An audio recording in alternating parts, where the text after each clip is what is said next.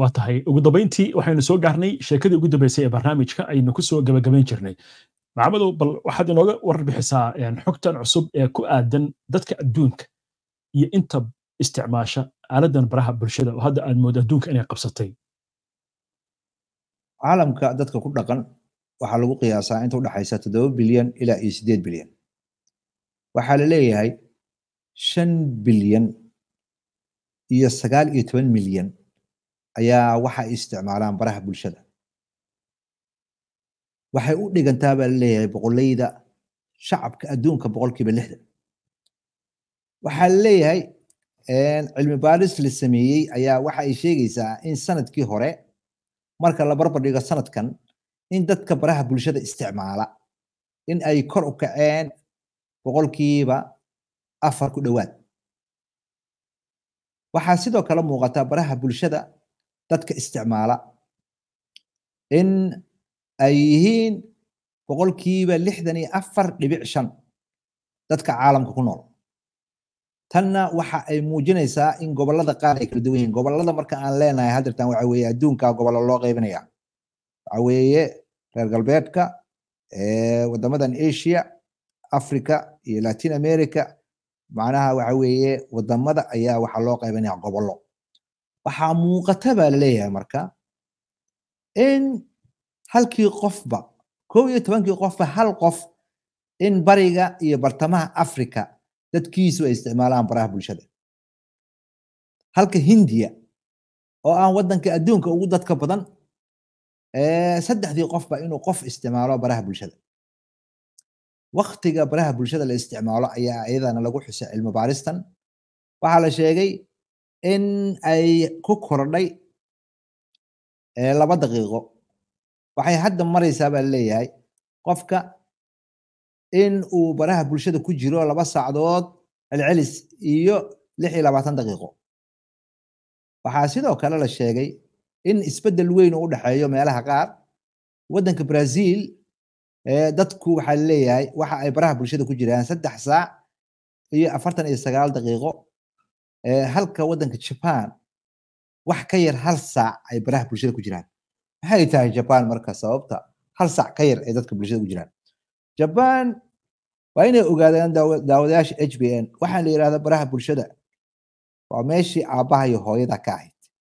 Waxaa jira jiil dhan oo shan milyan ku dhow oo baraha bulshada ay saaqidiyeen oo lixdan jiro ah konton iyo lixdan u dhexeeya dadkaasi waxa weeye ma shaqeeyaan waxa ay ku dib jireen baraha bulshada.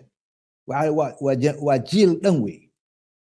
Marka sababaha keenaya inayn dad badan u heelanayn inay baraha bulshada wakti badan iska geliyaan waxaa keenaya waa aabbaha iyo hooyada teknolojiyadan casriga ah waana la soo eeday.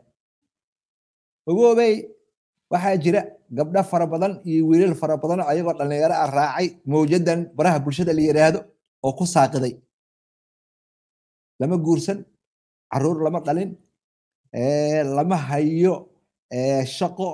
Waxaa shaqo laga dhigtay oo lagu dib jiray baraha bulshada. Marka dalalka kale ayaa u caaboon oo u heelan hawshan.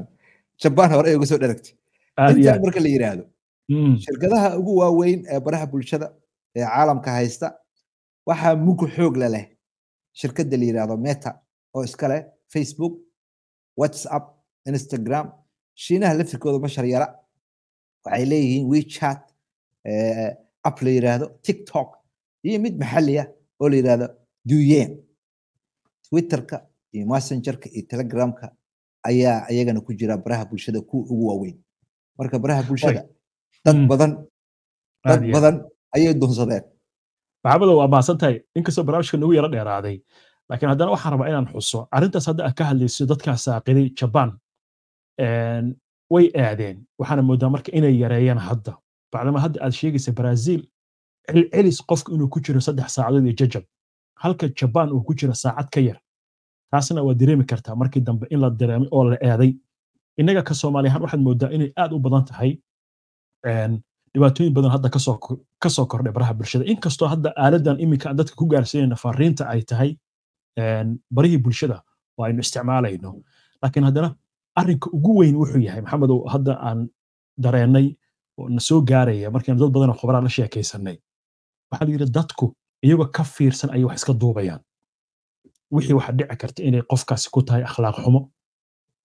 Hadday gabar tahay wiil yahay oo laga yaabo hadduu carruur leeyahay carruurtii markay weynaadaan inay dhibaato ku noqon karto hadduu awowo noqdo qofkaasi ayay hadday noqoto inay ka shalaynayso marka waa meeshii soomaalidu ka oran jirtay ka fiirso intaadan falin oo macnaheedu ay tahay aad aad u fiican tahay waxaan rabaa inaan wax xusuusiyo. Dadka aan aan warbaahinta khabiirada ku ahayn warkan aan sheegayo dhug ha u yeeshaan. Si fiican maalin walba oo qof suxufi ah uu wax qoro ama uu war duubo ama raadiya ha ka sii daayo ama maqaal ha qoro ama joornaal ha lagu daabaco ama video ha sii daayo. Waxa uu qoro waa wax uruursan ilaa iyo muddo ka dambaysa asaga. Suxufiyiinta waxa ay qoraan waa dad ay shaqadooda tahay lagulana xisaabtamo wixii gaboodfala ee dhaca. Ama xagga qaanuunka ha noqoto ama xagga anshaxa saxaafadda ha noqoto. Laakiin waxaan u sheegayaa dadkan ayaga isxilqaamay ee baraha bulshada dhex yaacaya. Fal kasta iyo wax walba aad sheegto iyo wax walba aad qorto. Weligaa iyo allaha kaa daba hari maayaan weligoodna meeshan ayay oolayaan.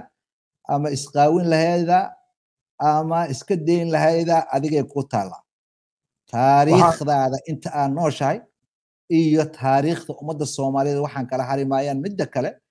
Hay'adahan aad arkaysid ee codadka u duubayso. Waxaan ay kaa urursanayaan. Mar waxaad gaari doontaa aadan ka soo celin karin. Intay goor goorta ka tasho. Waa runta maxamedow waa dhaweyta waxaa ila soo xiriiray nin masaariya oo hadda ka hor shir intaan ka wada qaybgalna isbarannay inkastoo aanan doonin hadda meesha inaan ku soo bandhigno boggan youtube-ka wuxuu ii sheegay bog youtube oo laga yaabo in laga leeyahay waddanka algeria ama morocco. Wuxuu yidhi ninkaasi wuxuu haystaa ku dhowaad dhowr milyan oo qof. Dadka wuxuu yidhi uu ninkaasi maalin kasta soo dhigu yidhi bartiisa youtube-ka. Qaybta short skill yarada ee filimaanta gaagaaban wuxuu yidhi waxay u badan yihiin gabdho soomaaliyeed. Marka wuxuu yidhi arrintaas ma ka war haysiin buu yidhi hadaad tihiin saxaafiyiinta soomaalida. Dadkiina ma aad uga digtaan. Yacni wuxuu ka hadlayey dadkan waxaanta iska soo duubaan ama tiktoka dhigaya ama facebookii oo dee noloshii qaaskaada ka hadlaya laga yaabo gabdhaha qaarkood inaysan dareemayn dhibaatada arrintaas ay leedahay. Marka akhlaaqiyaadka qaarkood waxaad daawanaysa dhowr boqoloo akhlaaqiyaadka waxbaan kuu sheegayaa. Waxaa jira hay'ado ay shaqadeedu tahay waxa la yidhahdo inmaal oo lagu salliday qofka ceebtiisa inay raadiyaan.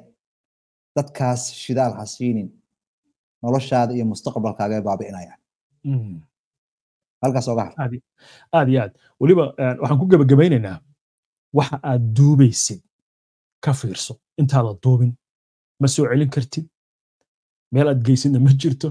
Marka taasna runtii waa muhiim. Si gaara gabdhaha baan runtii jecelnahay inaan ula hadalno ayaga laftigu iinmaalkaas ka hadlaysa meeshay ku jirtaa gabar intii laga yaabo inay si qaldan sawirkeeda ku bixisay ama muuqaal si qaldan looga duubay. Hadhowtay dhibaata inay soo gaarto waynun aragn dhibkaas. Marka ka mas'uuliyaddana saaran. Waxaan jecelnahay arrintaasi in laga waantooba. Maxamed aad iyo aad baad u mahadsan tahay. Daawadayaashina way mahadsan yihiin. Oo ku dheeraana barnaamijka caawa laakiin waxaan filayaa inuu leeyahay faa'iidadiisa. Noo soo qora si aad u aragtaan fariimahan wacyigelinta aan soo gudbinayno oo mas'uuliyadda aan dareemayna na saaran ah. Waad mahadsantihiin